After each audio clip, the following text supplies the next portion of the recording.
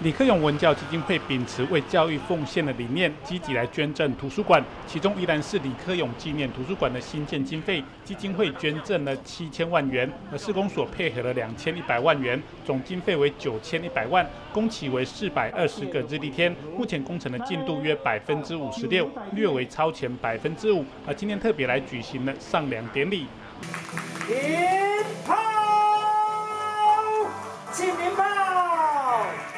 李克勇啊，依然是纪念图书馆从开工到现在有两百七十天的啊这个工作天哈，内装的部分跟软体，我们也已经向。啊，这个教育部来申请经费补助，然后在周边的绿美化工程上面啊，我们也已经啊这个筹备经费哈，要来进行相关的一个工程。那今天这个上梁典礼呢，主要是针对我们二楼一般书库区，那我们设计了一个钢构加木构的一个结构。那今天在两个月前 RC 工程完成之后呢，那我们加紧的这个赶工。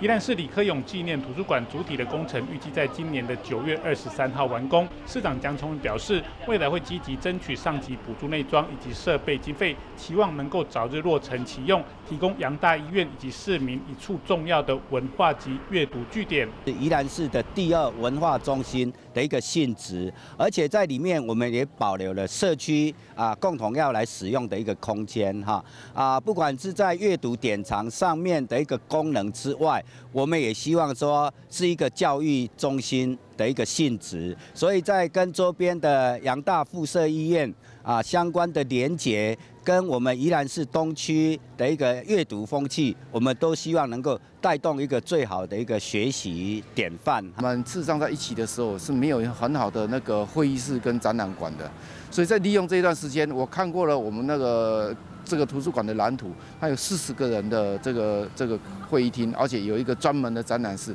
这个非常小，适合那种小型到中型的研讨会、医学会的举办。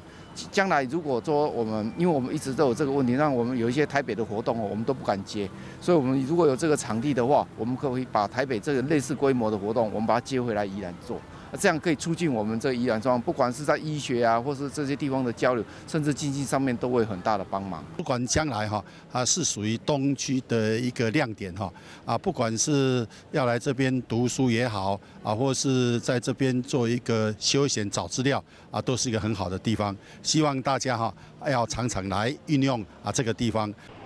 未来宜兰市李克勇纪念图书馆的落成，将成为宜兰市第二个文化中心，也能成为市民休闲、学习以及游客驻足的场域。宜兰新闻记者石世明采访报道。